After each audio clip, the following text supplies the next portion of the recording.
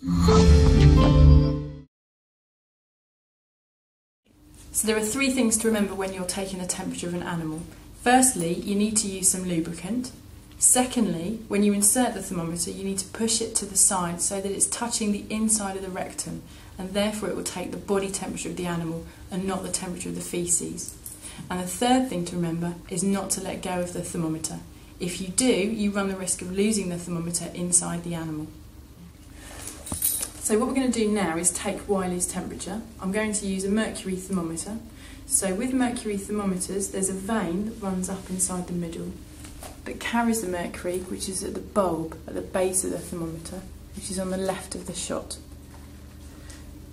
Now, in order to, to hold the temperature when you've removed it from the animal, there's actually a kink in the vein which stops the, the mercury running back down into the bulb.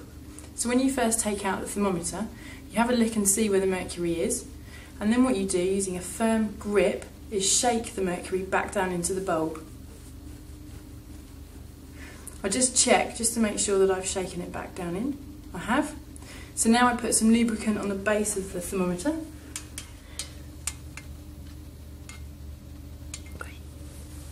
And then with a firm grip and a little bit of a twist, I just insert it inside the rectum. And just hold it, don't let go of it, just hold it until the temperature has been registered.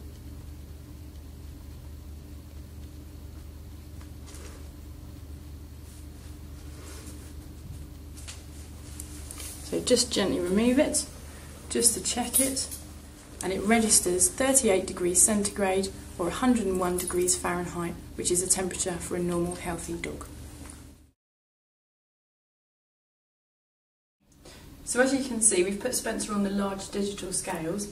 These are the sorts of scales you'd find in a vet practice, and they allow you to very accurately weigh your dog. So you can see from the digital reading that Spencer is 27.25 kilograms, which is a nice healthy weight for a dog of his size.